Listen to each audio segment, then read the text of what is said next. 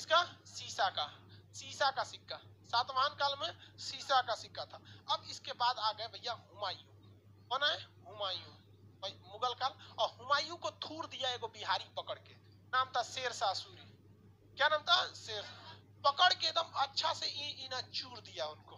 बहुत अपने आप को घमंडी समझता बाबर के लड़का। अरे, सोच रहे बाबर झाबर नाम का आजकल लोग कुत्ता पाल रहा है लोग।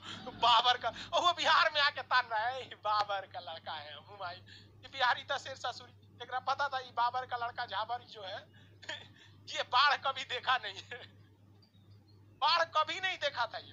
हुमायूं कभी बाढ़ देखा ही नहीं था। आई चल आया बिहार में लड़ने।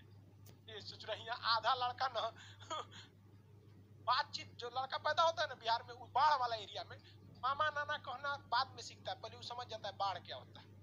बहुत विकट परिस्थिति है बिहार में। अब ये चल आया बिहार में लड़ने। शेर सासुरी उसको घेर लिया। कहा कि रुक जाएगा अगस्त का महीना आने दो इस बाढ़ आएगा कि बाढ़ में दह गया वाह, ये बोका था। अरे भाई बाढ़ आया है तो भागो तो ऊँचा जगह भागो ना गंगा में कूद गया। पूरा बैल था समझा मतलब यही होता है कि अगर बाप की संपत्ति छोड़ी हुई संपत्ति आपको मिलेगी ना तो बहुत ज़्यादा आप नहीं कर सकते। भेड़ा होंगे। जैसे हम लोग का जो बाल बच्चा आएगा ना, महाकमीना होगा ससुरा। पूरा बैल होगा, ओकरा कोई दिक्कत तो होगा नहीं। हम तो ओकरा पहले बाँस लेकर मारेंगे ससुरा, बाँस से बाँस। नहीं तो हुमायूं हो जाएगा वो, क्योंकि उसको कोई चीज़ का टेंशन ही नहीं है वहाँ। तो तो हुमायूं को गया बाढ़ में कूद गया। अब बेचारा डूब रहा था। तो उस बाढ़ में हारी न मछली मार रहा था। सोचिए, जिस बाढ़ में राजा दह गया उसकी फौज दह गई, उस बाढ़ में बिहारी मछली मार रहा था। और मछली मारा, बस हुमायूं फंस गया। कह रे ससुरा ये कहाँ से आया रे इसको।